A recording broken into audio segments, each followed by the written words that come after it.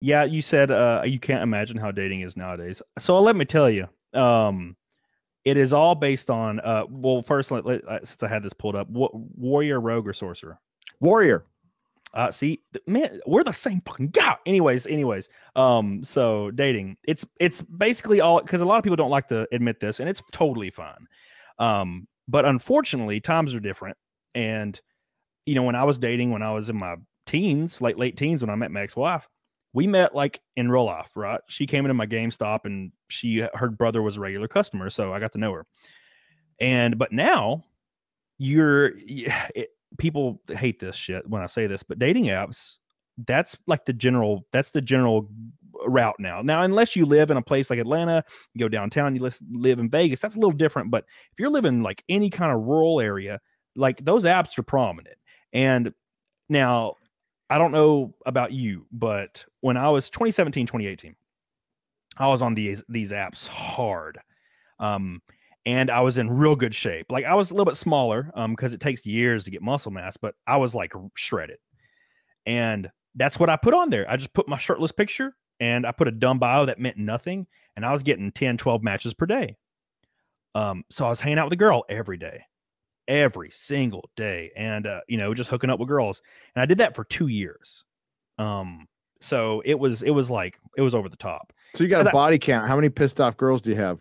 Uh, pissed off? Oh shit, I don't know. It's it's the body counts it's easily over a hundred, but it's because I live in there's a college like three minutes away. okay. So um, you know, it was but the, the unfortunate truth, which is kind of a I, I feel like a thing that people don't really learn, um, is you'll learn that people are way more similar than they are different. And it started getting kind of it kind of like bummed me out because I would meet a girl and she would be the exact same as the last girl I just hung out with, the same interest, same like vo- vocal tone, same jokes. Uh, she liked to watch Netflix and drink wine. That was her interest. And I now look, there's no shame in that, but dude, I am not. I'm the opposite. I like to build race cars. I love working on engines, transmissions. I love racing these cars. I love making stuff. I love writing music. I play almost every instrument that's like a normal instrument. Um, I just I have a lot of things that I love to do.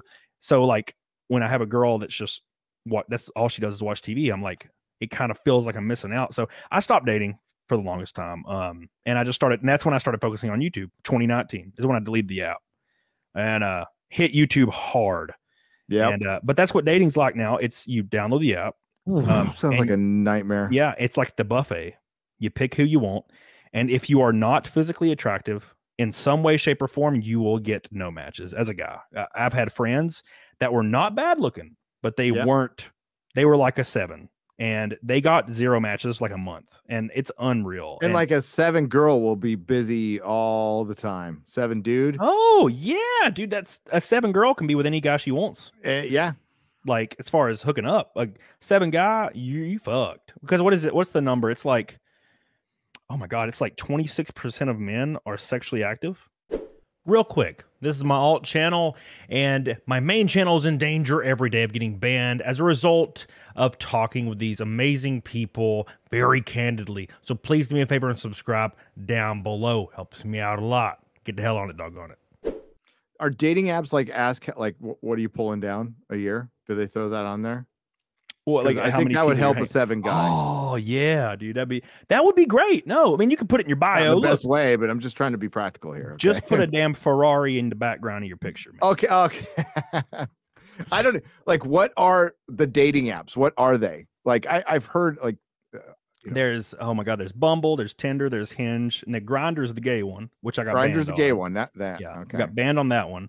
Um, because my friend, some of my mods, like in 2019, made a Grindr for me, and then every time I would match with somebody, they would be like, "Hey, subscribe to my YouTube channel." For some reason, because they thought they were being clever, got banned immediately on Grindr. Um, and then there's there's like OkCupid, and then there, there's probably ones now, but I haven't been on it in such a long time now. But um, yeah, um, it's all the same thing. It's just you hang out with a girl and you both know what's going to happen. And even it's especially if the girl says, "I'm not into hookups," then you're hooking up. It's, it's some kind of reverse psychology shit. I don't really Uh-huh. know. I'm not Um, in hookups. You're the only one.